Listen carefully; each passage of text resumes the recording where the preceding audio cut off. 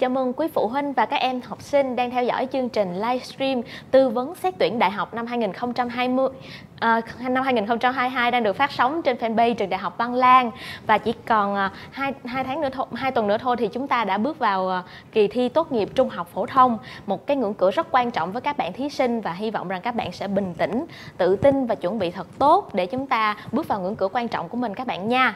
Và đồng hành cùng các bạn thí sinh trong mùa tuyển sinh năm nay, trường Đại học Văn Lang đặc biệt lên sóng chương trình livestream vào tối thứ năm hàng tuần trên fanpage trường Đại học Văn Lang để giúp quý phụ huynh và các em thí sinh có thể cập nhật những thông tin tuyển sinh mới nhất.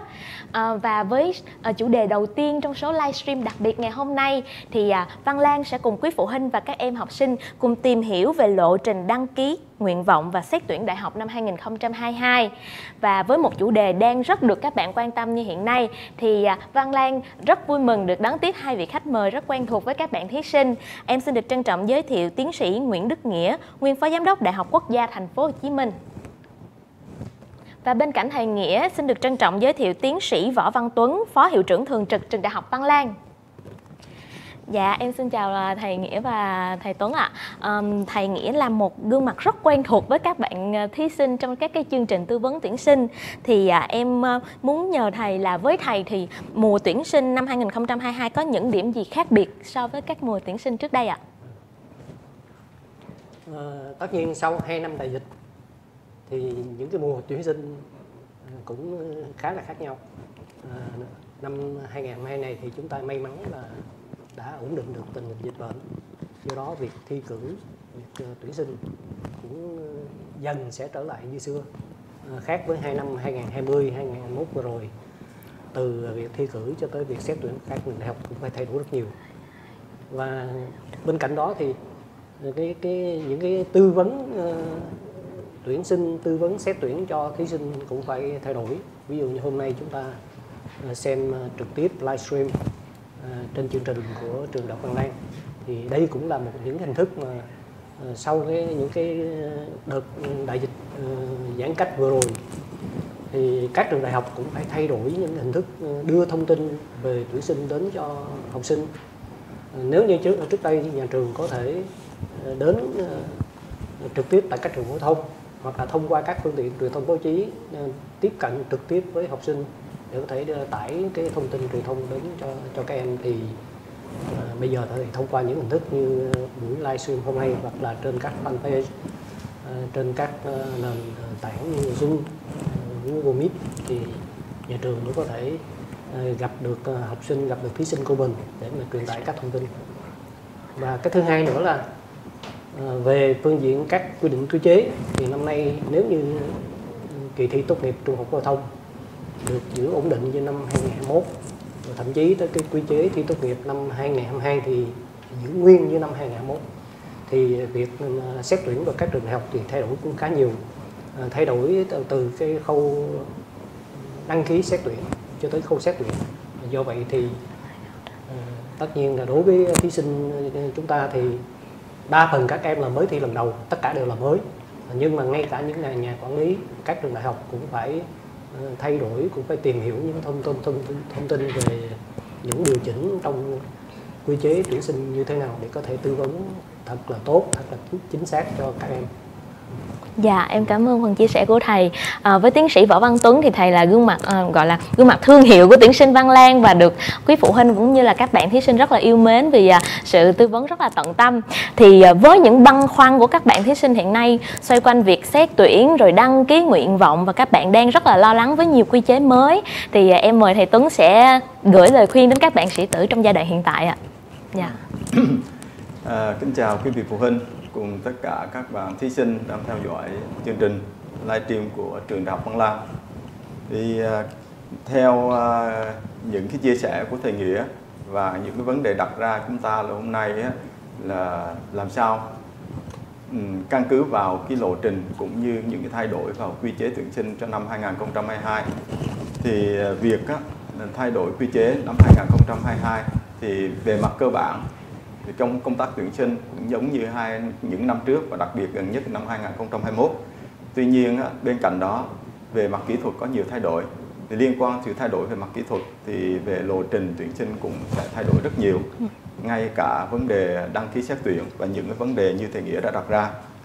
Thì ờ, về phía trường đại học Văn Lang á, thì chúng tôi nhận hồ sơ đang trong cái giai đoạn nhận hồ sơ đăng ký xét tuyển theo phương thức học bạ đợt 2 thì đợt 1 chúng tôi đã nhận từ ngày 1 tháng 3 đến ngày 30 tháng 5 năm 2000 31 tháng 5 năm 2022 và chúng tôi đã công bố cái kết quả vào ngày 15 tháng 6 thì cái đợt 2 và sau đó thì chúng tôi dự kiến ngày 23 tháng 6 này sẽ công bố cái đề án tuyển sinh. Và trong cái giai đoạn công bố đề án tuyển sinh đó thì chúng tôi vẫn tiếp tục nhận hồ sơ đăng ký xét tuyển đợt 2 về phương thức xét tuyển học bạ. Mặc dù là gọi là đợt 2 nhưng đối với cái phương thức xét tuyển và quy chế thì tất cả đều là nằm trong cái đợt 1 từ 10 tháng 6 đến 10 tháng 7 và sau đó thì ờ, chúng ta sẽ có thời gian về cái lộ trình tiếp theo là ngày 7 đến ngày 8 thì chúng ta tháng 7 thì chúng ta là thi tốt nghiệp thi trung học phổ thông gọi là thi tốt nghiệp trung học phổ thông năm 2022 thì à, thời gian của chúng ta theo cái lộ trình á, thì đến từ ngày 12 tháng 7 đến 18 tháng 7 thì thí sinh tự do là đăng ký và xác nhận bổ sung hồ sơ trong cái kỳ thi trên hệ thống thì đây là một cái thời gian chúng ta lưu ý đối với cái thí sinh tự do. Và trước ngày 21 tháng 7 là thằng Văn Lan sẽ công bố cái kết quả um, xét tuyển theo phương thức học bạ đợt 2 cũng như là xét tuyển các cái phương thức trước đó. Thì thí sinh lưu ý là từ 22 tháng 7 đến 20 tháng 8 là cái thời gian mà thí sinh trúng tuyển. Ờ, thí sinh xác nhận và đăng ký trên hệ thống điều chỉnh nguyện vọng và xác nhận không giới hạn số lần nguyện vọng trên hệ thống. Đây là cái giai đoạn quan trọng. Tức là từ, chúng ta lưu ý là từ 22 tháng 7 đến 20 tháng 8 là khi thí sinh đăng ký xét tuyển và điều chỉnh nguyện vọng trên hệ thống chung của Bộ và không giới hạn số lần nguyện vọng. Đây là cái thay đổi lớn nhất.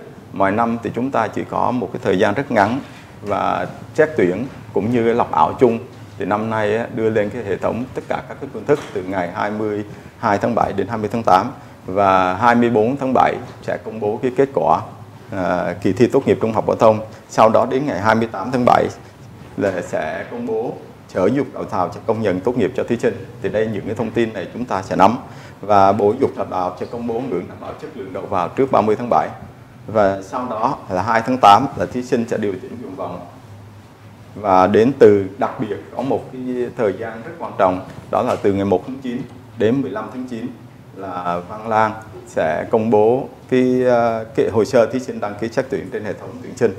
Và trước ngày 2 tháng ờ, trước ngày 17 giờ 17 tháng 9 thì Bộ sẽ công bố kết quả trúng tuyển.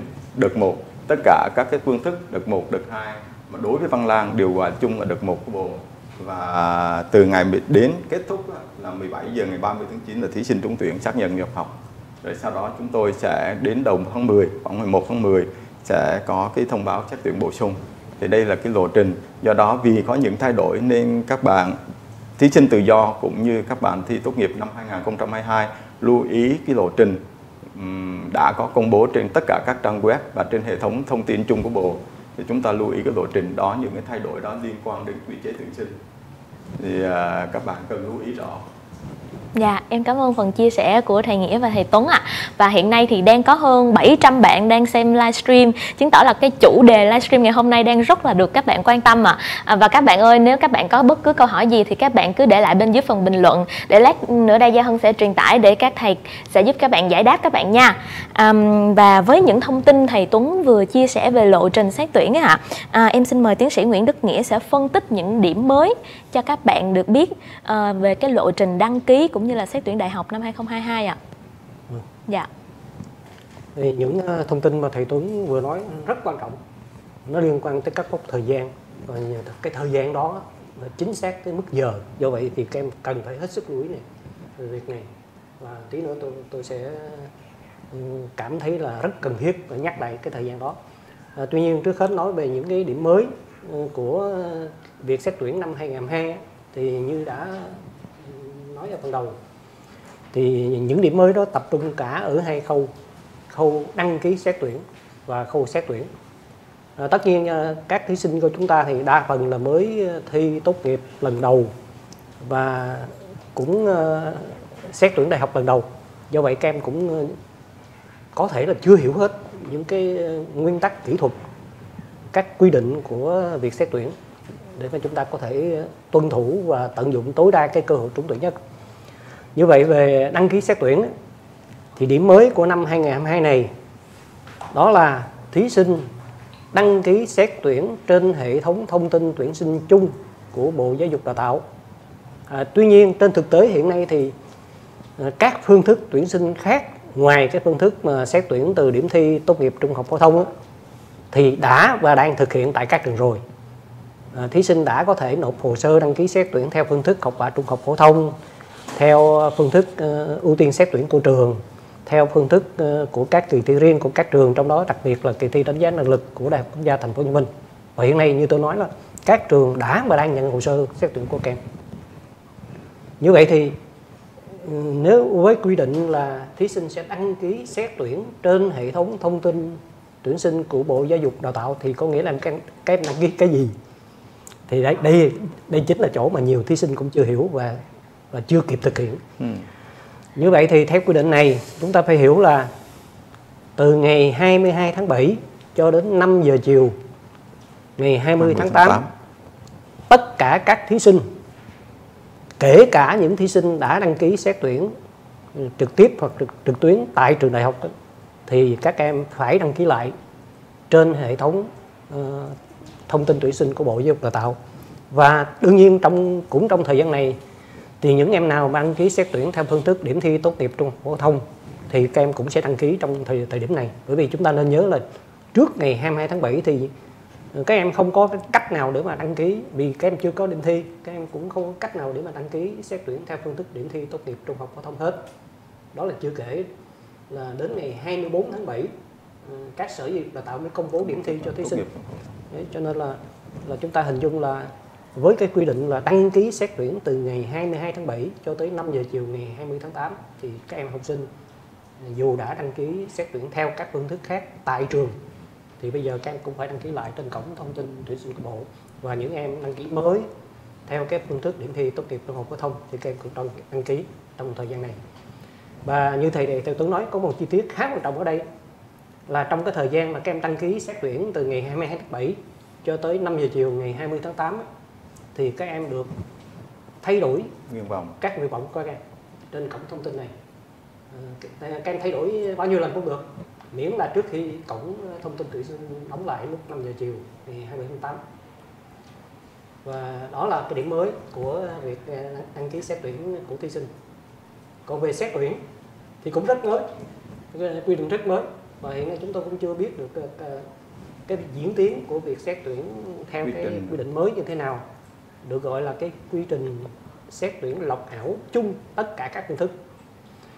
Thì với dữ liệu mà các thí sinh đã đăng ký xét tuyển trong giai đoạn từ ngày 22 tháng 7 cho tới 5 giờ chiều ngày 20 tháng 8 thì sau đó thì Bộ Giáo dục Đào tạo cùng với các trường đại học sẽ tổng hợp các dữ liệu này và sẽ tiến hành một cái đợt ờ, xét tuyển lọc ảo chung tất cả các phương thức từ ngày 1 tháng 9 cho tới 5 giờ chiều ngày 15 tháng 9 và cái quy trình xét tuyển lọc ảo chung tất cả các phương thức này ờ, được thực, hiện theo cái nguyên tắc là ờ, cuối cùng thì trong cái đợt xét tuyển này mỗi thí sinh chỉ được xét trúng tuyển một và chỉ một nguyện vọng duy nhất mà thôi. Vậy thì đấy là cái cái nguyên tắc ờ, quy định cho việc xét tuyển năm nay và cũng rất mới đối với thí sinh và thậm chí rất mới đối với các trường đại học.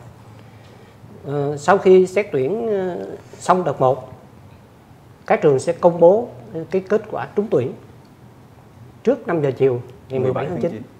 Và một cái điểm cũng rất mới đó là uh, các thí sinh đã được công bố trúng tuyển trong đợt một này phải thực hiện việc xác nhận nhập học trên hệ thống thông tin tuyển sinh của bộ chứ không phải là uh, đến trường nộp cái giấy báo điểm như những năm trước thì đây cũng là điểm rất mới mà các em cần phải chú ý để thực hiện gọi là Vì xác nhận nhập học trực tuyến xác nhận nhập học trực tuyến nhưng mà phải trên cổng ờ, thông tin của bộ. của bộ chứ không dạ. phải tại trường và nếu trong thời gian này mà thí sinh không có xác nhận nhập học trực tuyến trên cổng thông tin tuyển sinh của bộ thì xem như là thí sinh từ chối cái nguyện vọng cái nguyện vọng trúng tuyển đó và sẽ tham gia xét tuyển trong các đợt bổ sung đó yeah. Dạ. là những cái điểm gọi là mới trong cái tuyển sinh đăng ký xét tuyển cũng như là xét tuyển năm nay thì ờ, thí sinh cần phải hết sức chú ý tới những cái quy định và những cái mốc thời gian mà các em cần phải tuân thủ để có thể uh, có cái cơ hội trúng tuyển cao nhất Dạ, em cảm ơn ờ, phần chia sẻ rất là rõ ràng của thầy Nghĩa và thầy Tuấn ạ. À. Và bây giờ các bạn thí sinh ơi, mời các bạn sẽ cùng nhìn lại timeline ờ, các mốc thời gian quan trọng trong lộ trình xét tuyển đại học mà thầy Tuấn và thầy Nghĩa vừa chia sẻ. Các bạn nhớ nhanh tay chụp lại màn hình hoặc các bạn có thể lấy giấy bút ra, chúng ta ghi chép các cột mốc quan trọng để chúng ta ờ, đừng bỏ lỡ các cái cột mốc thời gian này các bạn nha. À, và nãy giờ thì các bạn cũng đã bắt đầu gửi câu hỏi về cho chương trình rất là nhiều rồi thì ngay bây giờ Gia Hân xin phép được truyền tải những câu hỏi mà các bạn đã gửi về cho ban tư vấn để các thầy có thể giúp các bạn giải đáp à, đầu tiên thì em xin được phép um, đọc câu hỏi của bạn Lê Nam Phương bạn đang là um, đang học tại học viện âm nhạc Huế ạ à. à, với câu này thì em mời thầy Nghĩa ạ à. bạn hỏi là cho em hỏi sau khi tốt nghiệp trung học phổ thông xong thì em sẽ được cấp tài khoản để đăng ký xét tuyển trên hệ thống tuyển sinh của Bộ Giáo dục và Đào tạo hay sao ạ? À? Dạ việc cấp tài khoản để đăng ký uh, xét tuyển trên uh, cổng trên hệ thống thông tin tuyển sinh của bộ thật ra được đã được cấp khi thí sinh đăng ký dự thi rồi. Uh, khi thí sinh đăng ký dự thi tốt nghiệp trung học phổ thông từ ngày 4 tháng 5 cho tới 5 giờ chiều ngày 13 tháng 5 thì các thí sinh cũng đã được cấp cái cái tài khoản để đăng ký trên cổng thông tin tuyển sinh của bộ sau này. Và, chúng tôi nhân đây chúng tôi cũng lưu ý là với cái số liệu mà ghi nhận trong cái đợt đăng ký uh, xét tuyển đăng ký dự thi của thí sinh ít. cho thấy là thứ nhất là số lượng thí sinh dự thi kỳ thi tốt nghiệp năm nay thì cũng sắp xỉ như năm 2021 dạ. khoảng hơn một triệu em. Tuy nhiên số em khi đăng ký dự thi có đăng ký sẽ xét tuyển vào các trường đại học lên đến hơn 90% và cũng tuy nhiên ở đây thì do cái quy định của bộ đối với các thí sinh tự do đã tốt nghiệp từ những năm trước vẫn phải đăng ký dự thi uh, tốt nghiệp để được cấp, cấp cái tài khoản, khoản xét tuyển. thì lúc đó các em không có thông tin cái đăng ký rất ít.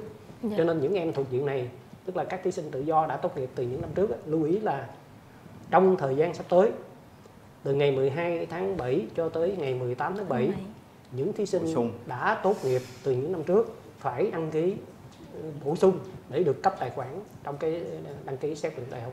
Cho vậy những em này phải hết sức đăng ký. À, còn đối với các thí sinh đã chưa đã à, vừa thi xong thì chúng ta chờ tới ngày 24 tháng 7 à, sau khi có kết quả. kết quả điểm thi thì chúng ta nên đăng ký lúc đó thì nó rõ ràng hơn chắc ăn hơn. Chứ nếu các em đăng ký sớm hơn thì cũng có khó chọn lựa cho mình bởi vì nên nhớ là sau khi có điểm thi xong thì còn một cái việc cũng khá quan trọng đối với những em đăng ký vào các ngành đặc thù như là khoa học sức khỏe hay là đào tạo giáo viên. thì sẽ còn cái điểm ngưỡng do bộ. công bố dạ. về cái điểm ngưỡng xét tuyển cho các ngành khoa học sức khỏe và đào tạo giáo viên. Dạ. trước 30 tháng 7 dạ. Ở đây tôi cũng xin lưu ý các à, bạn và quý vị phụ huynh đó là thầy Nghĩa có chia sẻ đến cái thông tin đăng ký cái tài khoản. Thì đối với thí sinh tự do thực chất á, là bộ đã mở cái cổng để cho đăng ký từ ngày 4 tháng 5 dạ, đúng đến 17 giờ ngày 3 tháng 5 đó gọi là um, tài khoản đăng ký xét tuyển trên hệ thống của bộ tuy nhiên trong cái thời gian các em chưa nắm rõ, đây lần đầu tiên, do đó cái số lượng đăng ký ít. Do đó bộ sẽ có một cái thời gian bổ sung. Các thí sinh tự do lưu ý là thời gian bổ sung từ 12 tháng 7 đến 18 tháng 7 là có thời gian bổ sung. Do đó các em nếu chưa đăng ký trong ngày 4 đến ngày 13 tháng 5 thì lưu ý đến từ ngày 12 tháng 7 đến 18 tháng 7 sẽ đăng ký bổ sung. Dù các em có thi tốt nghiệp hay không cũng đăng ký để có tài khoản để xét. Đây là lưu ý lớn nhất và thay đổi lớn nhất trong quy chế năm nay. Dạ, em cảm ơn hai thầy rất là nhiều à, và hiện nay cái cái từ khóa mà các bạn rất là quan tâm đó là xét tuyển sớm ấy ạ. Dạ, thì liên quan đến vấn đề này thì có rất là nhiều bạn các bạn gửi câu hỏi về cho hộp thư của Văn Lan. À, thì sau đây em xin lần lượt đọc các cái câu hỏi mà các bạn đã gửi về ạ. À, các bạn hỏi là nếu phải đăng ký xét tuyển chung trên hệ thống của bộ thì kết quả xét học bạ của em ở các trường đại học sẽ bị hủy phải không ạ? Chắc là em nhờ thầy Nghĩa giải thích cho bạn hiểu rõ hơn cái điểm này ạ. À, câu này thì có thể thầy Tuấn sẽ giải thích thêm vì dạ. trường đại học Văn Lang cũng cũng như một số trường đại học khác à, như tôi nói trong phần đầu hiện nay đã và đang nhận hồ sơ xét tuyển của các em rồi bằng các phương thức như là học bạ trung học phổ thông hay là uh, ưu tiên xét tuyển hay là xét tuyển theo điểm thi đánh giá năng lực của đại học quốc gia thành phố hồ chí minh à, với câu hỏi là à, em đã đăng ký rồi đăng ký theo phương thức học bạ rồi nhưng mà khi đăng ký trên cổng thông tin tuyển sinh của bộ thì có phải là cái kết quả đã đăng ký xóa đi hay không? Thì ờ, tôi thì tôi nghĩ ờ, hơi ngược lại một tí. Thậm ờ, không phải là xóa đi. Thậm chí là nếu em đặt cái nguyện vọng mà các em đã được xét trúng tuyển có điều kiện tại trường và đã được công bố là nguyện vọng một thì cái khả năng các em trúng tuyển rất, rất cao. À, tuy nhiên các em cần phải chú ý à, cái thứ nhất là à, như đã quy định ấy, thì thí sinh dù đã đăng ký xét tuyển, nộp hồ sơ xét tuyển theo phương thức học bạ tại trường và thậm chí đã được công bố trúng tuyển có điều kiện. Nhưng khi mà cổng thông tin tuyển sinh của bộ giáo dục đào tạo được mở ra, thì em vẫn phải đăng ký lại trên cổng thông tin tuyển sinh của bộ từ ngày 22 tháng 7 cho tới 5 giờ chiều ngày 20 tháng 8 và lúc này thì các em phải cân nhắc xem chúng ta nên để cái nguyện vọng đã được công bố trúng tuyển đó ở đâu để chúng ta có cơ hội trúng tuyển cao nhất thì đó là cái cái quy định chung. Dạ. do vậy thì ờ, chúng ta đừng quá lo lắng là cái kết quả của mình ờ, sẽ bị xóa đi. Nhưng các em phải lưu ý là phải đăng Phải đăng ký ký. trên cổng thông tin tuyển sinh của bộ. Dạ em cảm ơn thầy. À, và thầy Tuấn ơi thì ở trường Đại học Văn Lang thì các bạn sẽ có hiện nay tới thời điểm hiện tại thì các bạn đang có hai đợt xét tuyển sớm học bạ. Thì à, em nhờ thầy có thể giải thích cho các bạn thì cái kết quả của hai đợt xét học bạ này thì sẽ như thế nào ạ? À, thì thầy Nghĩa cũng chia sẻ các cái thông tin liên quan đến gọi là à, xét tuyển sớm và cái cái cái cách thức như thế nào. Tôi xin nhắc lại, dù các em có đăng ký trên à, xét tuyển Văn Lang và trong cái đợt 1 vừa rồi của Văn Lang, tôi xin nhắc lại đợt 1 của Văn Lang là kết thúc hôm 31 tháng 5 và ngày 10 tháng 6 chúng tôi đã công bố kết quả thì à, các bạn cũng phải đăng ký trên hệ thống chung của bộ, lọc ảo chung của bộ, tức là đăng ký trên hệ thống xét tuyển của bộ từ 22 tháng 8 đến 17 giờ ngày Xin lỗi từ 22 tháng 7 đến Dạ. 17 giờ ngày 20 tháng 8. Đó là cái thời gian chúng ta lưu ý. Thì à, việc mà đăng ký cái xét tuyển sớm thì đợt 2 chúng tôi á, là đang tiếp tục nhận hồ sơ và kết thúc vào ngày 10 tháng 7. Thì hai cái đợt đó gọi chung á, là tôi xin nhắc lại gọi chung là đợt 1 đối với hệ thống mà khi chúng ta đăng ký xét tuyển từ ngày 22 tháng 7 đến ngày 20 tháng 8.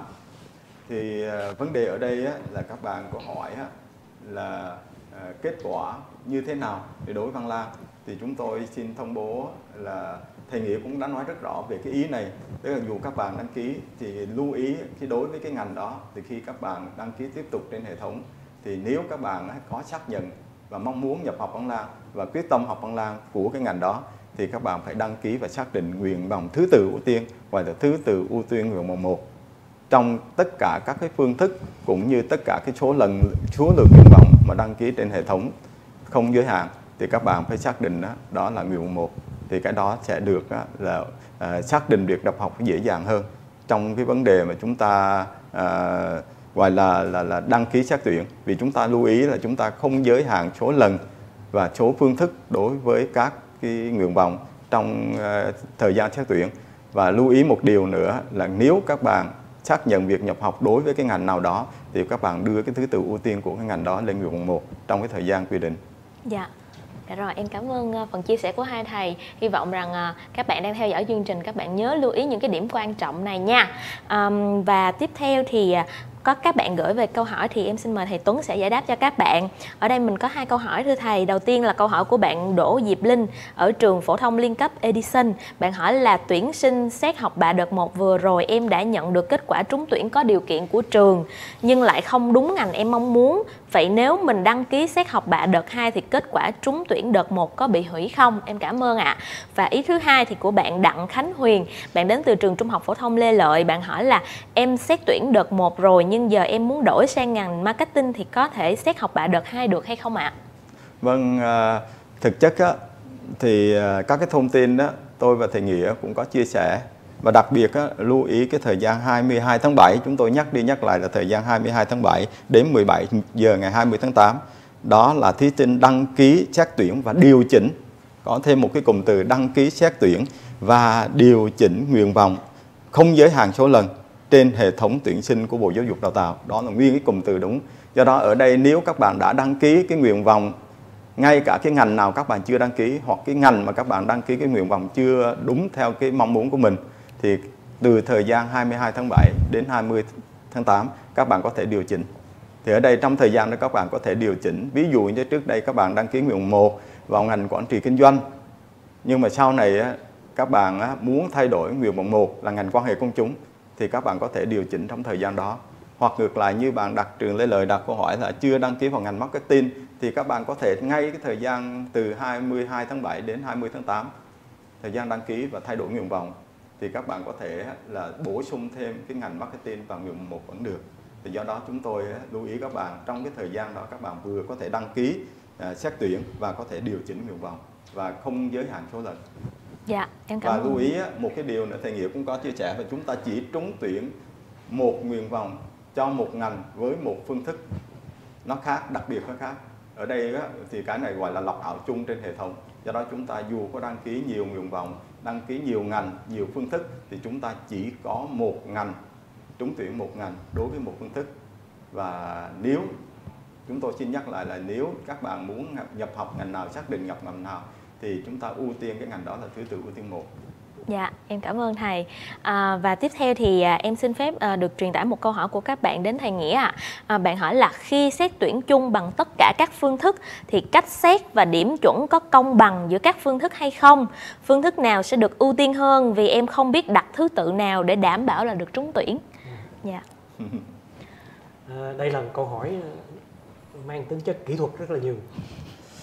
Và hiện nay thì à, chúng tôi cũng chưa chưa hiểu hết những cái kỹ thuật máy tính mà khi lọc ảo theo chung cho tất cả các phương thức thì bộ sẽ xử lý như thế nào? Để chúng ta hình dung như thế này là cái nguyên tắc của xét tuyển lọc ảo chung các phương thức đó, đó là thí sinh có thể đăng ký không giới hạn số lượng nguyện vọng. Và nên nhớ là như, như từ đầu đến giờ tôi và thầy Tuấn đã liên tục nói tức là hiện nay thí sinh đã và đang đăng ký xét tuyển theo các phương thức khác tại các trường rồi và từ ngày 22 tháng 7 đặc biệt là sau khi biết kết quả điểm thi ngày 24 tháng 7 thì các em lại có có thể tiếp tục đăng điều chỉnh nguyện vọng đăng ký xét tuyển theo cái điểm thi tốt dạ. nghiệp yeah. và đồng thời Đúng. những cái nguyện vọng trước đó các em đã đăng ký tại trường các em upload các em đăng ký trở lại trên cái cổng thông tin tuyển sinh của bộ như vậy thì ờ, trên nguyên tắc thì thí sinh có thể đăng ký rất nhiều nguyện vọng theo rất nhiều phương thức vào nhiều trường khác nhau à, tuy nhiên khi xét tuyển trên hệ thống lọc ảo chung á, thì mỗi thí sinh chỉ được xét trúng tuyển một và chỉ một nguyện vọng duy nhất mà thôi. Thì vấn đề nảy sinh ở chỗ này chính là câu mà cô em hỏi. Như vậy thì giữa các phương thức mà các em đã đăng ký nhà trường có xét tuyển bình đẳng như nhau hay không? Thì ở đây bộ có quy định là à, các trường phải xét tuyển theo cái chỉ tiêu của từng phương thức mà à, trường đã đăng ký trên đề án à, tuyển sinh của trường. Đó thì như vậy vấn đề lớn ở chỗ này á, là khi xét tuyển lọc ảo chung như vậy thì trường có tuân thủ đúng cái quy định đó hay không? À, để cho à, với cái điều kiện là em đã được thông báo trúng tuyển có điều kiện tại trường nhưng khi mà đăng ký lại trên hệ thống em giữ cái nguyện vọng đã được trường công bố là trúng tuyển có điều kiện đó, là ở nguyện một bộ một thì có chắc là em đậu hay không? À, thì vấn đề là nếu như nhà trường giữ đúng cái chỉ tiêu cho phương thức đó thì em sẽ trúng tuyển đúng như nhà trường đã công bố. Còn như nếu như lúc đó bản thân thí sinh khi lên cái hệ thống thông tin tuyển sinh của bộ mà điều chỉnh các nguyện vọng uh, lung tung không có không còn đúng như là lúc ban đầu nhà trường dự kiến nữa thì có thể lúc đó uh, xảy ra tình trạng là thí sinh tuy đã được nhà trường xét trúng tuyển có điều kiện nhưng mà khi lên hệ thống chung có thể vẫn uh, không trúng tuyển được đó là một số thông tin mà các em cần lưu ý để có thể sắp xếp các nguyện vọng của mình uh, theo thứ tự một cách hợp lý nhất để có cơ hội được xét trúng tuyển cao nhất. Dạ, à, và ở Văn Lang thì có một cái nhóm ngành các bạn rất là quan tâm đó là ngành quan hệ công chúng Thì các bạn cũng có băn khoăn á thầy, các bạn nói bây giờ các bạn nên giữ cái phương thức xét tuyển học bạ hay là nên cân nhắc cái việc là dùng điểm thi trung học phổ thông Dạ, thì cái nào nó sẽ dễ trúng tuyển hơn thì các bạn hay hỏi bọn em như vậy á thầy Dạ, em nhờ thầy Tuấn ạ à ở đây chúng ta lưu ý một cái nội dung và một cái ý mà với câu hỏi của các bạn đặt ra là vào cái ngành quan hệ công chúng chẳng hạn bằng cái phương thức xét tuyển theo cái phương thức học bạ. Bây giờ các bạn là chọn cái phương thức thi tốt nghiệp trung học phổ thông với kết quả là 24 tháng 7, 24 tháng 8 sẽ công bố. Thì ờ, có phương thức nào dễ hay không? Thì cái này không thể trả lời chắc với các bạn được mà chúng tôi á, và thầy Nghĩa cũng có chia sẻ là đến ngày 4 tháng 7 thì có kết quả thi tốt nghiệp trung học phổ thông. Thì các bạn xem thử cái kết quả đó và nghiên cứu à, định mức được lại á, là cái chỉ tiêu cũng như á, là cái mức điểm của hàng năm của trường liên quan đến cái ngành này. Do đó các thầy có thể có thể là chọn cái phương thức là tốt nghiệp trung học phổ thông hoặc phương thức học bạ tùy theo cái mức điểm của mình. Trên cái cơ sở là là mức điểm chung của kỳ, kỳ thi thì ở đây á, thì tôi cũng muốn xin nhắc lại các bạn á, một cái ý là sau khi các bạn xét tuyển bằng phương thức hiện nay chúng tôi đang à, mở cổng là phương thức học bạ nhưng sau đó các bạn có kết quả thi tốt nghiệp trung học phổ thông. Nếu cái điểm thi tốt nghiệp trung học phổ thông các bạn thấy cao Dạ. thì các bạn có thể điều chỉnh cái nguyện vọng một bằng phương thức đó.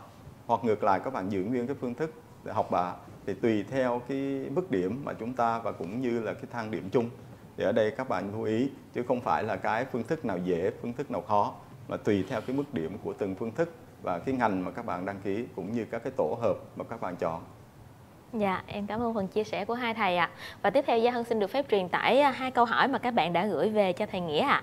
À, bạn có hỏi đầu tiên là câu hỏi của bạn Trần Triệu Vi đến từ trường Trung học phổ thông Nguyễn Việt Dũng. Bạn hỏi là em có cần nộp hồ sơ gì khi đăng ký xét tuyển trên hệ thống của bộ hay không ạ? Và câu hỏi thứ hai đến từ một bạn thí sinh tự do. Bạn hỏi là cho em hỏi thí sinh tự do cần làm những hồ sơ gì trước ngày 12 tháng 7 để được bộ gửi mã tài khoản trên cổng thông tin của bộ ạ? Em cảm ơn. Dạ. Đây cũng là hai câu hỏi mang tính chất kỹ thuật nhưng cũng rất cần thiết bởi vì các em ờ, chưa thi và chưa xét tuyển lần nào. Và thứ hai là bộ cũng đã thay đổi cái cái cách cách thức mà các em nộp hồ sơ. À, câu hỏi thứ nhất đó là năm nay hoàn toàn là đăng ký ờ, đăng ký xét tuyển trực tuyến. Và thứ hai nữa là làm thủ tục.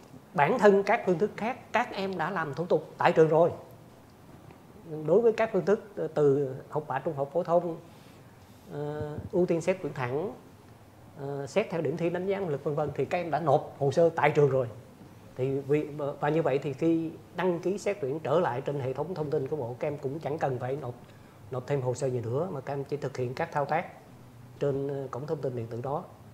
Và đối với phương thức mà xét tuyển theo điểm thi thì cũng cũng vậy. Các em cũng dữ liệu điểm thi của các em đã có trên hệ thống rồi. Và như vậy thì các em chỉ đăng ký xét tuyển Ờ, các nguyện vọng của mình theo phương thức điểm thi tốt nghiệp trung học phổ thông. Tóm lại là các em không không phải nộp hồ sơ gì cả. Khi các em làm ờ, thủ tục đăng ký xét tuyển trên cổng thông tin tuyển sinh của bộ giáo dục đào tạo. Còn đối với các thí sinh tự do đã tốt nghiệp thì hồi nãy thầy Tuấn có chia sẻ rồi và tôi cũng rất muốn nói lại bởi vì đây đây là cái thông tin mà các em ít để ý tới. Ờ, trong cái đợt 1 trong cái đợt đăng ký dự thi từ ngày ờ, 4 tháng 5 cho tới 5 13 giờ chiều ngày 13 tháng 5 vừa rồi thì những thí sinh đã tốt nghiệp. Và thật ra các em không không không muốn đăng ký xét tuyển bằng điểm thi đâu. Các em đã tốt nghiệp rồi và các em muốn đăng ký xét tuyển bằng các phương thức như học bạ này nọ các thứ thì trên cổng thông tin ờ, tuyển sinh ờ, thi của của bộ giáo dục đào tạo chỉ ghi nhận có hơn 2.000 thí sinh thuộc diện đã tốt nghiệp đến đăng ký thôi. Trong khi chúng tôi ước lượng là số này phải lên đến khoảng 4 bốn năm chục ngàn. Và do đó thì trong cái đợt ờ, xét tuyển sắp tới từ ngày 12 tháng 7 cho tới ngày 18 tháng 7 bộ có quy định là sẽ cấp tài khoản bổ sung. cho những thí sinh đặc biệt là các thí sinh tự do đó.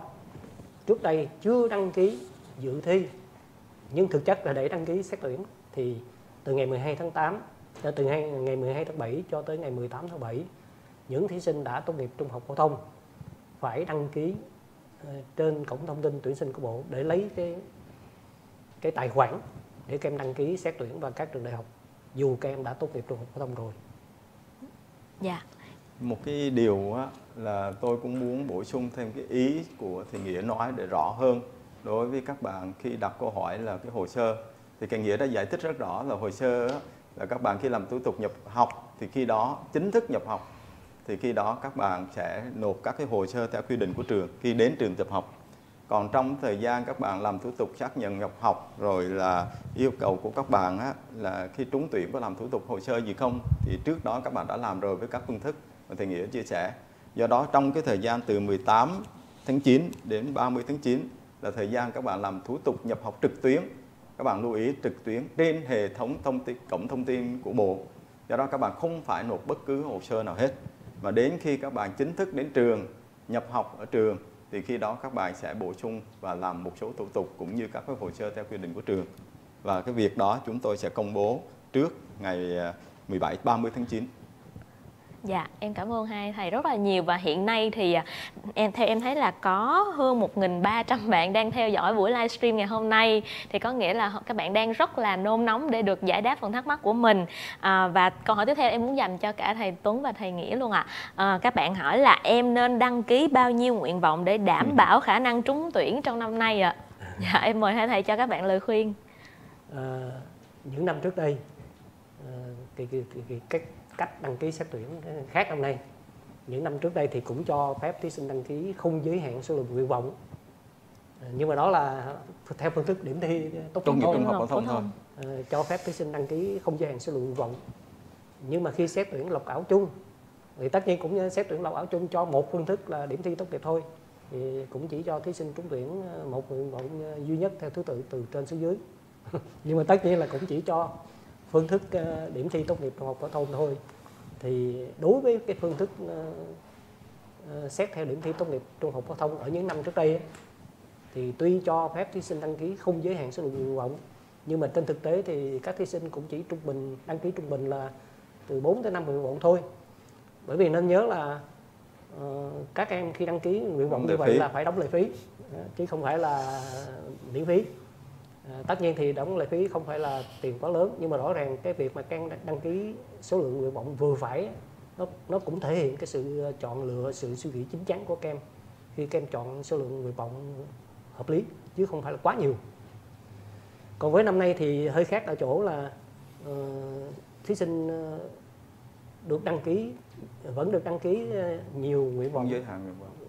Nhưng theo nhiều phương thức và khi xét tuyển thì lọc ảo chung tất cả các phương thức do vậy thì trên nguyên tắc thì chúng tôi nghĩ là ờ, các em ờ, vẫn nên đăng ký nhiều nguyện vọng cho nó có cái độ phủ tương đối đối với cái cái, cái mong muốn của các em được xét tuyển vào các trường đại học. Ờ, tuy nhiên cũng không nên không nên đăng ký quá nhiều không cần đăng ký quá nhiều bởi vì cuối cùng thì chúng ta cũng chỉ được xét trúng tuyển một và chỉ một nguyện vọng thôi cho nên là các em nên chọn lựa số lượng số nguyện vọng vừa phải theo các phương thức mà các em cảm thấy là cái điểm số của các em là cao nhất trong các phương thức đó. Thì các em nên đặt là nguyện vọng một à, hoặc là đối với những cái trường đã công bố cho mình là đã trúng tuyển thì cái cơ hội để mà xét được xét trúng tuyển theo nguyện vọng cao hơn. Đó, đó là nguyên tắc mà chúng ta nên sắp xếp cho có cái cơ hội có cái xác suất đại học cao nhất trong đợt một. Dạ em mời thầy Tuấn tôi, cho tôi, các tôi bạn. muốn dạ. bổ sung một cái ý nữa. Thì nghĩa nói rất rõ và đầy đủ vì cái mong muốn các em và cái số nguyện vọng đăng ký bao nhiêu, có khả năng trúng tuyển. Thì à, chúng ta cũng biết một cái ý mà thầy nghĩa nói là nếu mà các em đã đăng ký vào trường nào, của ngành nào, thì các trường đó đã có một cái thông báo là trúng tuyển có điều kiện. Do đó nếu mà các em đã xác định rõ ràng cái ngành mà mình đăng ký xét tuyển sớm đó và đã có thông báo, thì các em cố gắng giữ nguyên trong trường hợp các em muốn điều chỉnh và các em có thể nghiên cứu kỹ hơn cái đề án tuyển sinh của các trường. Ví dụ như đề án tuyển sinh Văn Lang, các em muốn vào ngành nào thì các em nghiên cứu kỹ trong đề án.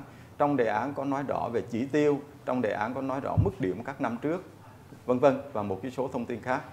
Thì các em lưu ý, với cái đề án thì cho chúng ta một cái số thông tin để các em có thể xem được cái mức điểm của mình theo từng phương thức có phù hợp không và cái khả năng cơ hội trúng tuyển cao hay thấp và cái đặc biệt chúng ta lưu ý tùy theo mức điểm để chúng ta xác định đăng ký nguyện mùng 1 hay là nguyện mùng 2 do đó thầy nghĩa cũng lưu ý chúng ta các em không nên đăng ký quá nhiều nguyện vọng, không nên đăng ký quá nhiều nguyện vọng, mà chúng ta có thể đăng ký đến 3 đến 4 hoặc 5 nguyện vọng phù hợp với cái mức điểm và cũng như cái cái ngành nghề mà chúng ta chọn đối với các cái phương thức.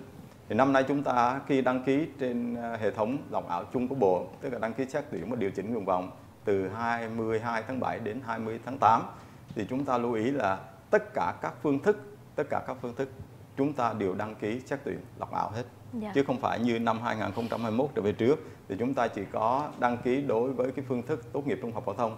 Mà phương thức học bạ, phương thức đánh giá năng lực, phương thức tốt nghiệp trung học phổ thông chúng ta đều đăng ký trên một phiếu cùng lọc ảo. Thì do đó nó có sự khác biệt và chúng ta chỉ trúng tuyển cho một nguyện vọng đầu tiên Dạ, em cảm ơn thầy rất là chi tiết cho các bạn à, thí sinh ạ. À, tiếp theo là một câu hỏi của các bạn thí sinh tự do ạ. Bạn hỏi là em hiện là thí sinh tự do tốt nghiệp năm 2020. Em xét tuyển học bạ đợt 1 vào trường Đại học Văn Lang, đã được thông báo trúng tuyển có điều kiện rồi, nhưng em có đăng ký thi trung học phổ thông và sẽ ghi và sẽ thi 3 môn. Nếu tháng 7 này em không tham gia thi 3 môn đó mà em chỉ để nguyện vọng 1 vào trường do đã trúng tuyển xét học bạ thì có ảnh hưởng gì hay không ạ? Với câu này em mời thầy Nghĩa sẽ giải thích cho các bạn ạ. Ờ, câu trả lời rất rất đơn giản.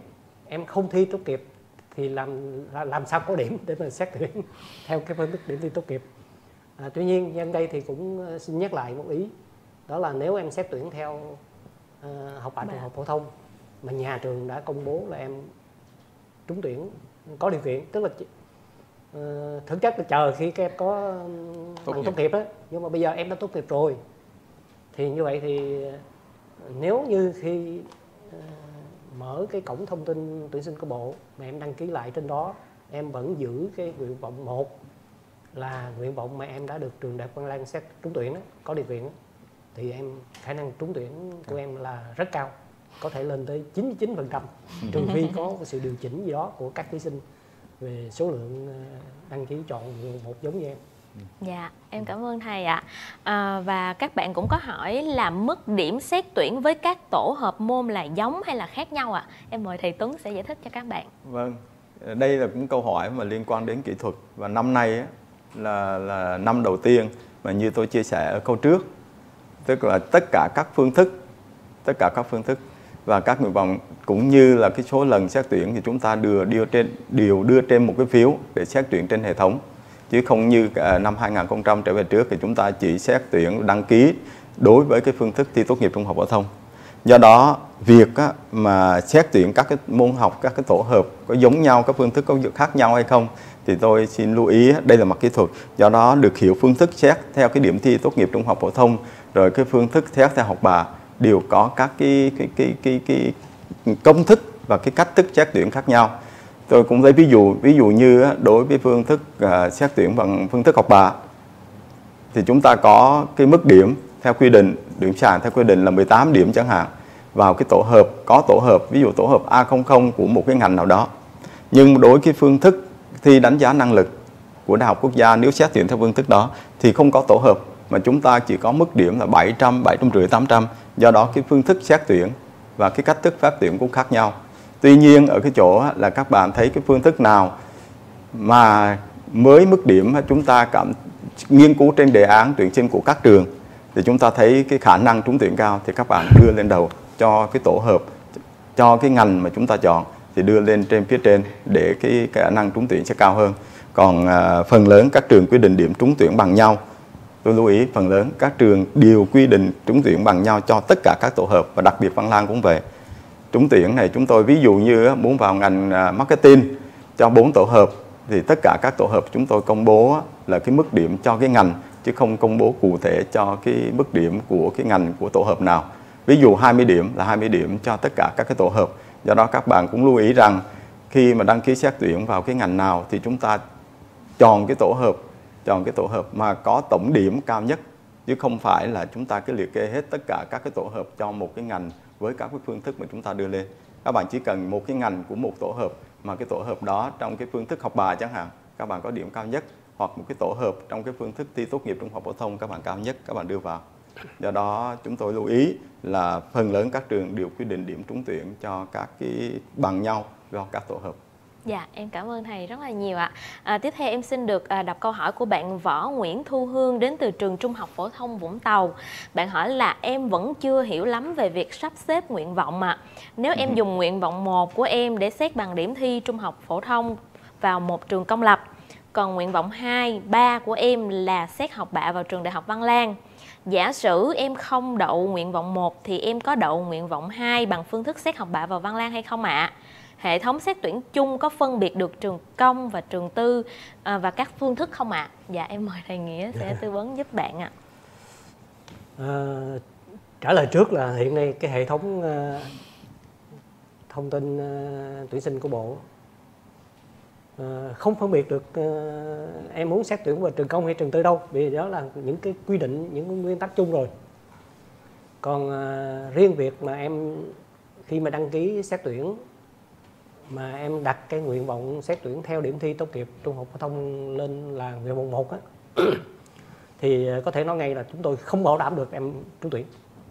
Bởi vì em nên nhớ là hiện nay như tôi và thầy Tuấn đã nói từ đầu đến giờ đó là tất cả các phương thức khác ngoài phương thức điểm thi tốt nghiệp trung học phổ thông á, thì hiện nay học sinh đã và đang nộp hồ sơ trực tuyến hoặc là trực tiếp tại trường đại học rồi. Như vậy thì đến ngày 22 tháng 7 khi khi em đăng ký ờ, trên hệ thống thông tin tuyển sinh của bộ thì các nguyện vọng mà em đã và đang thực hiện tại các trường đại học đều đều đã biết là trúng tuyển có điều kiện hay chưa. Do vậy, một khi đã biết mình đã đã được xét trúng tuyển có điều kiện, thì để cái cái nguyện vọng đã được xét trúng tuyển có điều kiện đó là nguyện vọng một, thì khả năng trúng tuyển ờ, 100 của của mình là rất rất cao có thể nói là 99 phần trăm. Trừ những trường hợp có cái thay đổi bất ngờ gì đó. Còn nếu em đặt cái điểm ờ, ờ, cái xét tuyển ờ, của phương thức điểm thi tốt nghiệp lên là nguyện vọng một thì lúc đó hoàn toàn chúng ta chưa biết chưa biết là mình sẽ được xét trúng tuyển không. Do vậy thì lời khuyên là nếu như em đã được xét trúng tuyển theo các phương thức khác vào trường thì em nên đặt cái phương thức đó là nguyện vọng một trừ phi cái nguyện vọng đó chưa có phù hợp với cái mong muốn về ngành nghề của em, thì em có thể đặt lại theo cái thứ tự khác. Còn nếu chúng ta đã bằng lòng, đã hài lòng với với ngành nghề mà trường đã công bố chúng ta trúng tuyển có điều kiện, thì chúng ta nên đặt cái cái nguyện vọng đó là nguyện vọng một. Dạ, em cảm ừ. ơn thầy. À, và tiếp theo thì các bạn hỏi là nếu sau khi trúng tuyển trên hệ thống xét tuyển chung mà em không muốn nhập học ngành trúng tuyển thì em phải xử lý như thế nào ạ? Một câu hỏi cũng khá liên quan tới kỹ thuật em nhờ thầy Tuấn ạ. Vâng, à, cái này thông tin này thì trước uh, các cái câu hỏi trước thì thầy Nghĩa và tôi cũng có lồng ghép vào đó để trả lời cho các em. Với việc uh, xác định uh, nhập học uh, là chúng ta thí sinh trúng tuyển là xác nhận nhập học trực tuyến trên hệ thống thì cái này lưu ý. Và cái thời gian là từ 18 tháng 9 đến 17 giờ ngày 30 tháng 9 thì chúng ta lưu ý như vậy. Và từ 1 tháng 10 thì chúng ta sẽ xét tuyển bổ sung. Do đó trong cái thời gian từ 15 tháng 9 18 tháng 9 đến 30 tháng 9 mà các bạn không xác nhận nhập học cái ngành mà đã thông báo trúng tuyển lên hệ thống chung của bộ, thì xem như các bạn từ chối, gọi là từ chối, không đồng ý nhập học với cái ngành đó và các bạn nhớ là chúng ta chỉ có một ngành trúng tuyển trong một nguyện vọng. Do đó nếu các bạn không thích cái ngành đó nữa thì các bạn từ chối là xem như là chúng ta không xác nhận nhập học. Mà không xác nhận nhập học có nghĩa là chúng ta không đồng ý học cái ngành đó thì chúng ta sẽ đợi để xét tuyển vào đợt bổ sung gọi là đợt xét tuyển bổ sung sau ngày 1 tháng 10 thì uh, hệ thống thông tin của tất cả các trường sẽ xét tuyển cho các đợt bổ sung với tất cả các phương thức Do đó, nếu trong cái thời gian tôi xin nhắc lại là 18 tháng 9 đến 17 giờ 30 tháng 9 mà các bạn không xác nhận việc nhập học trên hệ thống chung của bộ với cái ngành mình trúng tuyển, thì xem như các bạn từ chối. Dạ. Dạ em cảm ơn thầy rất là nhiều. À, tiếp theo thì là câu hỏi của bạn tên là Lê Huỳnh Kim Thanh đến từ trường Trung học phổ thông Vĩnh Long và bạn Phan Lê Trọng đến từ trường Trung học phổ thông Nguyễn Trân.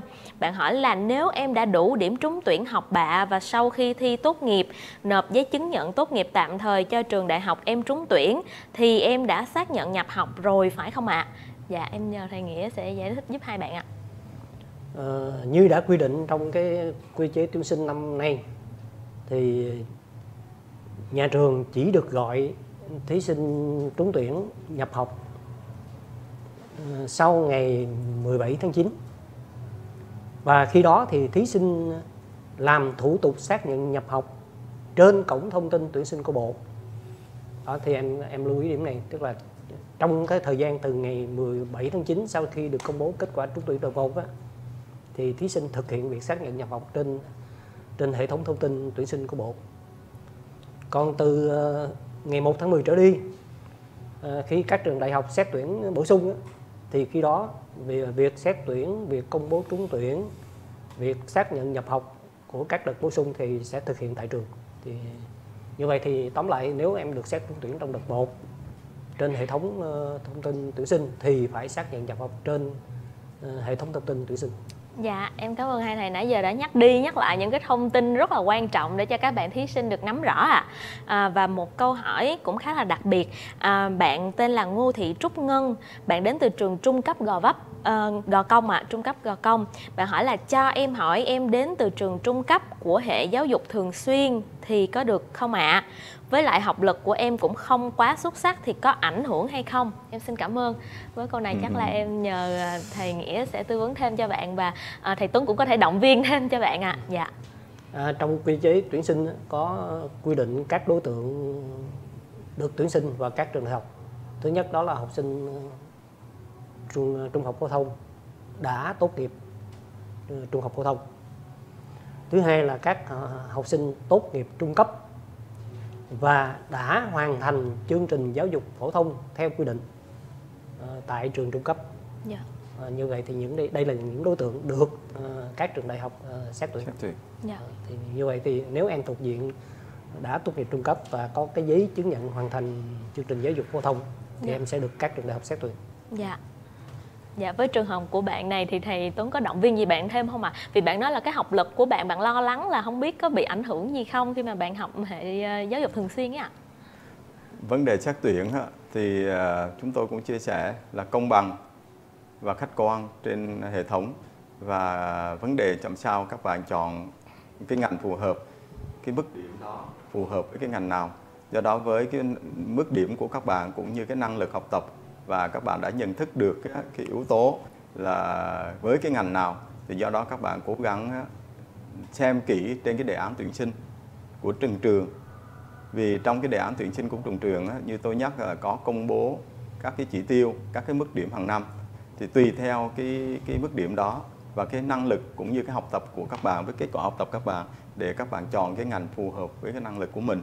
Chứ còn à, nếu mà các bạn với cái năng lực và cái học tập mà chúng ta cảm thấy còn khiêm tốn và các bạn cứ chọn các cái ngành mà có chỉ tiêu ít hoặc các cái ngành mà các năm về trước mức điểm cao thì chúng ta cần lưu ý thêm điều đó. Dạ, em cảm ơn phần chia sẻ của hai thầy. Và nãy giờ thì Gia Hân đã truyền tải rất là nhiều câu hỏi mà các bạn gửi về hộp thư của Văn Lan rồi. Bây giờ chúng ta sẽ uh, chuyển qua các cái câu hỏi mà các bạn đặt ở phía bên dưới phần bình luận ha. À, Đầu tiên thì em xin phép đọc câu hỏi của bạn Như Ngọc ạ. À. Bạn hỏi là dạ cho em hỏi em có thấy Bộ Giáo dục thông báo Năm nay sẽ thay đổi quy chế cộng điểm ưu tiên? Tuy nhiên thì em chưa nắm kỹ thông tin lắm Nhờ các thầy giải thích giúp em. Dạ em mời thầy Nghĩa giúp bạn ừ. Như Ngọc ạ. à theo dự thảo quy chế tuyển sinh ban đầu á, thì ờ, dự kiến ờ, năm 2022 này sẽ bỏ cái quy định ờ, ưu tiên khu vực cho các thí sinh đã tốt nghiệp từ những năm trước khi xét tuyển đại học. À, tuy nhiên sau khi lấy ý kiến của nhiều nhiều bên liên quan thì Bộ Giáo dục Đào tạo quyết định là năm nay thì việc mà ưu tiên khu vực á, vẫn được giữ nguyên có nghĩa là những thí sinh đã tốt nghiệp mà đăng ký xét tuyển trước các trường đại học năm nay thì vẫn được giữ chế độ ưu tiên khu vực như như trước đây còn từ năm 2023 trở đi thì việc ưu tiên theo khu vực sẽ được giảm dần theo lộ trình ờ, đối với các học sinh đã tốt nghiệp từ những năm trước yeah. Dạ. đây là điểm mà thí sinh ờ, đối với thi năm nay thì các em có thể yên tâm còn đối với các thí sinh mà không trúng tuyển năm nay năm tới xét tuyển lại thì các em lưu ý cái điều này để có thể uh, chuẩn bị cho mình một cái tâm tâm thế yeah. Dạ. um, có thể là không cái mức độ ưu tiên khu vực nó không còn như năm nay nữa yeah. Dạ. túm lại là bằng nào á, mà uh, năm nay mà vẫn là giữ nguyên cái ưu tiên khu vực. Do đó cố gắng đã được ưu tiên khu vực thì phải trúng tuyển năm nay còn sang năm là không được ưu tiên nữa. Dạ em cảm ơn hai thầy.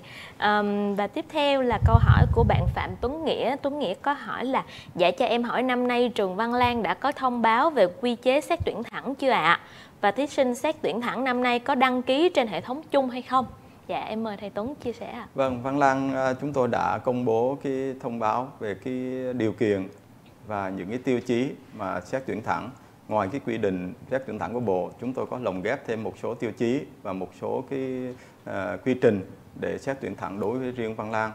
Và dù các em á, có đăng ký bằng phương thức gì thì tôi xin nhắc lại dù tuyển thẳng hoặc là học bạ hay là thi tốt nghiệp trung học phổ thông đều các em phải khai báo trên hệ thống chung của bộ. Thì cái này là cái điểm lưu ý nhất lớn nhất mà năm nay về mặt kỹ thuật bộ đã thay đổi. Dạ em cảm ơn thầy. À, ở đây các bạn cũng hỏi là bạn tên là Đỗ Nguyễn Xuân Nguyên, bạn học trường Trung học phổ thông Phạm Văn Đồng. Bạn hỏi là nếu đã xét tuyển học bạ đợt 1 ở Văn Lang, em có được ưu tiên hơn hay nhập học sớm khi xét tuyển chung vào tháng 7 hay không? Dạ em mời thầy Tuấn. Về nguyên tắc thì à, khi xét tuyển thì chúng tôi công bằng và khách quan, không có việc là xét tuyển trước đó thì được ưu tiên hơn sau đó không được ưu tiên. Tuy nhiên ở chỗ là chúng ta lưu ý việc ưu tiên là đối với từng đợt xét tuyển. Ví dụ đợt 1 mà chúng tôi công bố thì sau đợt 1 thì chúng tôi sau ngày mùng 10 sẽ có cái đợt bổ sung. Thì cái đợt bổ sung á, với vào cái ngành đó thì tùy theo cái cái cái cái chỉ tiêu còn lại của cái ngành. Và có thể còn ít hay nhiều thì chúng tôi sẽ có cái mức điểm. Thì do đó nếu mà các bạn đăng ký sau thì sau đối với các cái đợt thì cái ưu tiên nó sẽ bị thấp đi. Ví dụ trước đó ngành uh, quản trị kinh doanh chúng tôi lấy 20 điểm. Sau khi gọi nhập học đến 30 tháng 9 chúng tôi xác nhận nhập học thì thấy chưa đủ chỉ tiêu chúng tôi còn một số chỉ tiêu để gọi thêm thì chắc chắn cái mức điểm sẽ cao hơn 20 điểm. Còn trong cùng một đợt thì chúng tôi xét tuyển dù có đăng ký xét tuyển sớm hoặc là xác định từ ngày 22 tháng 7 đến 20 tháng 8 các bạn có đăng ký xét tuyển hoặc điều chỉnh nguyện vọng thì tất cả các cái phương thức và đăng ký sớm hoặc đăng ký trước đều giống nhau. Tuy nhiên ở chỗ nếu các bạn đăng ký trước vào Văn Lang thì chúng tôi ưu tiên hơn trong vấn đề là tư vấn, trong vấn đề hỗ trợ cho các bạn và đặc biệt là chăm sóc các bạn đối với cái ngành nghề nào các bạn để phù hợp và với cái mức điểm đó, với cái nguyện vọng đó thì các bạn có thể chọn cái phương thức nào, chọn cái ngành nào dễ trúng tuyển. Và như thầy Nghĩa nói, nếu các bạn đã xác nhận việc nhập học và trường đã có cái thông báo là trúng tuyển có điều kiện và các bạn thi tốt nghiệp trung học phổ thông vào ngày 6, ngày 7, 7 ngày 8 tháng à, tháng 7 này nếu các bạn đủ thì gần như có cái khả năng trúng tuyển rất cao. Nếu các bạn đăng ký và xác nhận nguyện vọng thứ tự ưu tiên nguyện vọng là nguyện vọng một đối với cái ngành đó. Do đó đó là cái ưu tiên lớn nhất mà chúng tôi đặc biệt là chăm sóc, các tư vấn và hướng nghiệp cho các bạn chọn cái ngành nào phù hợp với cái mức điểm theo cái đề án tuyển sinh cũng như các cái thông tin của các năm về trước. Dạ, em cảm ơn hai thầy rất là nhiều. Nãy giờ hai thầy à, đã rất tập trung và kiên nhẫn nói đi nói lại rất nhiều lần những thông tin quan trọng cho các bạn theo dõi chương trình livestream ngày hôm nay. Cho nên là bạn nào mình theo dõi livestream thì mình cố gắng ghi nhớ thật là kỹ các bạn nha. À, và hy vọng rằng là sau livestream ngày hôm nay thì các bạn sĩ tử của chúng ta đã thuộc nằm lòng những cái thông tin quan trọng, những cái cột mốc chúng ta cần lưu ý. Và nãy giờ thì bên dưới phần bình luận thì Gia Hân có thấy là các bạn để lại rất là nhiều câu hỏi. Tuy nhiên có một số câu hỏi thì nãy giờ hai thầy à, đã trả lời cho các bạn trong quá trình tư vấn rồi. Cho nên là bạn nào nãy giờ mình vào sau mình chưa kịp nghe thì các bạn có thể xem lại livestream một lần nữa nha. Và các bạn yên tâm là đội ngũ tư vấn viên của Văn Lan sẽ luôn đồng hành với các bạn. Um, và nãy giờ thì Gia Hân rất là cảm ơn. Hơn 1.300 các bạn đã theo dõi chương trình livestream ngày hôm nay. Em cũng xin cảm ơn thầy à, thầy Nghĩa và thầy Tuấn đã dành thời gian để tư vấn cho các bạn thí sinh. À, và trước kỳ thi quan trọng sắp tới thì em xin mời thầy Nghĩa sẽ có những cái lời khuyên cũng như là cái lời động viên để các bạn chuẩn bị cho kỳ thi một cách tốt hơn ạ. Dạ. dạ. À, các em học sinh thân mến, à, chúng tôi cũng rất chia sẻ những cái lo lắng của các em đối với kỳ thi cũng như là việc xét tuyển à, sắp tới. Vì đa phần các em à, chúng tôi ghi nhận là trong hơn, hơn một triệu học sinh đăng ký dự thi kỳ thi tốt nghiệp này thì có đến chắc phải là 98% các em mới thi lần đầu. Có chỉ có khoảng 2% các em là từ các hệ giáo dục uh, thường xuyên này nọ các thứ. Và cái số học sinh mà thi thi lại. không không tốt nghiệp những năm trước mà thi lại rất ít. Uh, chúng tôi chia sẻ sự lo lắng đó tuy nhiên uh, lời khuyên là các em đừng sợ phải tự tin. Vì tuy hai năm vừa rồi dịch bệnh. dịch bệnh rất là nặng nề nhưng mà tỷ lệ tốt nghiệp trung học phổ thông cũng của chúng ta cũng rất cao. À, một phần là vì bộ dục đào tạo cũng cũng đã có những cái điều chỉnh trong nội dung ôn tập điều chỉnh trong đề thi. Do vậy thì uh, tôi tin là các em chắc chắn sẽ chinh phục được uh, kỳ thi kỳ thi tốt nghiệp này. Uh, vậy thì những lời khuyên để các em có thể đạt được một, một cái một, một cái tin thông tin một cái tin báo là các em có trúng tuyển vào trường đại học vào tháng 9 và nên nhớ là chỉ còn hai tuần nữa là chúng ta đến ngày thi. Chỉ còn hai tháng nữa là chúng ta kết quả. à, kết thúc à, đăng ký xét tuyển. Như vậy thì trong giai đoạn này các em cần phải thứ nhất là à, ôn tập thật tốt trong giai đoạn cuối trước khi. À, thứ hai là phải nắm vững các quy định quy chế của kỳ thi cũng như là việc xét tuyển và đặc biệt là những mốc thời gian mà từ nãy giờ tôi và thầy Tuấn cũng đã liên tục ờ, lưu ý để các em bám theo các mốc thời gian đó để thực hiện các thủ tục ờ, trong xét tuyển và thứ ba là trong cái cuộc marathon hai tháng cuối cùng này thì phải giữ gìn sức khỏe thật tốt để chúng ta vượt qua được kỳ thi ờ, vượt qua được cái đợt xét tuyển với cái kết quả cuối cùng là thông báo trúng tuyển đợt một cho các em. À, chúc các em một kỳ thi thật tốt đẹp và có một cái kết quả uh, trúng tuyển được uh, đúng vào ngành trường mà mình mong muốn.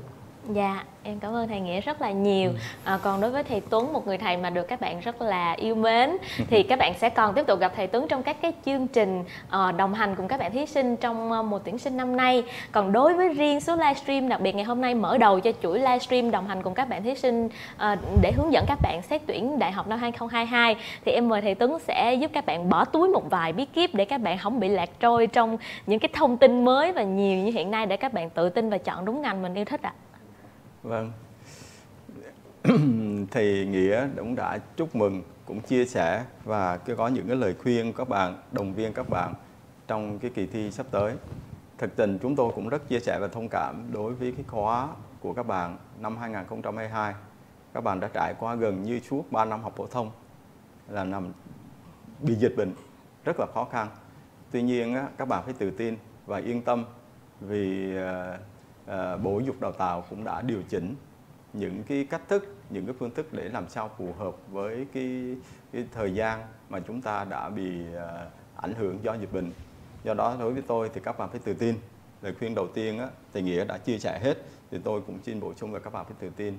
Cái thứ hai nữa phải xác định được á, là các cái quy định, các cái lộ trình và theo dõi kỹ các cái đề án tuyển sinh của tất cả các trường các bạn biết mình, biết ta, tức là xác định rõ với cái mức điểm đó, với cái năng lực đó thì chúng ta phải chọn cái ngành nào, với cái nguyện vọng nào cho nó phù hợp và trường nào cho phù hợp. Vấn đề thứ hai nữa thì các bạn cố gắng giữ sức khỏe để tập trung và yên tâm. Xem như nếu các bạn đã đăng ký và có thông báo là đủ điều kiện, trúng tuyển, có điều kiện vào Văn Lan thì các bạn cố gắng tập trung thời gian để lo cho cái kỳ thi tốt nghiệp trung học phổ thông vào ngày 7 và ngày 8 tháng 9 à, tháng 8 à, tháng 7 sắp tới. Các bạn cứ tập trung hết và yên tâm xem như các bạn đã có một chân, bước một chân vào ngưỡng cửa đại học rồi. Các bạn lo tập trung để được tốt nghiệp trung học phổ thông cho năm nay.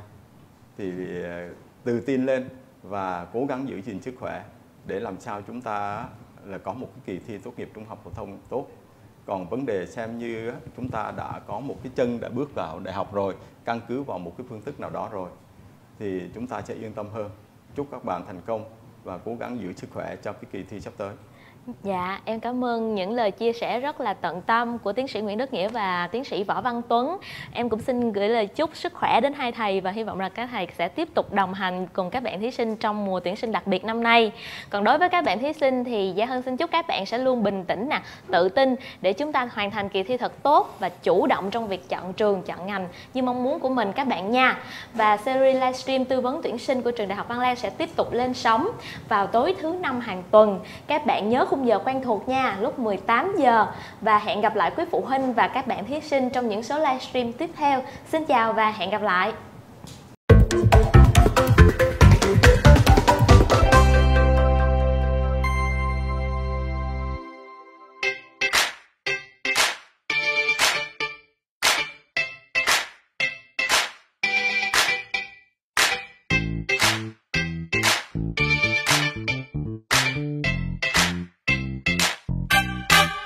Ôm mai văn lan đến đây cùng tôi cùng chăm học thành tài. Ôm mai văn lan đạo đức đi cùng ý chí bay vút cao. Ý tưởng sáng tạo cùng mang những khát khao lớn. Đoàn kết là sức mạnh truyền thống chúng tôi luôn tự hào. Our home, our pride, our life, our style Nhiệt huyết trong mỗi người. Mang thành công đi khắp nơi. Our home, our pride I like our style nghề chúng tôi tươi cười mang thành công đi khắp nơi ba da ba ba da ba da ba yeah ba ba ba da ba this is my ballet ba ba ba da ba ba ba ba da ba yeah ba ba ba da ba this is my ballet my ballet my ballet Văn Lan để bên đến với tôi tên đời là sang trang. Gửi công sức vào trong mà nhà thật hân hoan. Mỗi ngày đêm Văn Lan cùng với niềm vui nên dẫn tràn Văn Lan, Văn Lan. Tôi cùng một cặp phát cho tới Bình Thạnh. Đi đâu cũng thấy Văn Lan. Nếu mà cần giúp đỡ tôi luôn sẵn sàng. Hết lòng hỗ trợ lẫn nhau. Đạo đức ý chí sáng tạo phát triển cao. Our hope, our bright I like our style nhiệt huyết trong mỗi người. Mang thành công đi khắp nơi. Our home, our bright I like our style nghề chúng tôi tươi cười Mang thành công đi khắp nơi Ba ba ba ba ba ba ba yeah ba ba ba ba This is my ballet ba ba ba ba ba ba ba ba yeah ba ba ba ba This is my ballet My ballet My ballet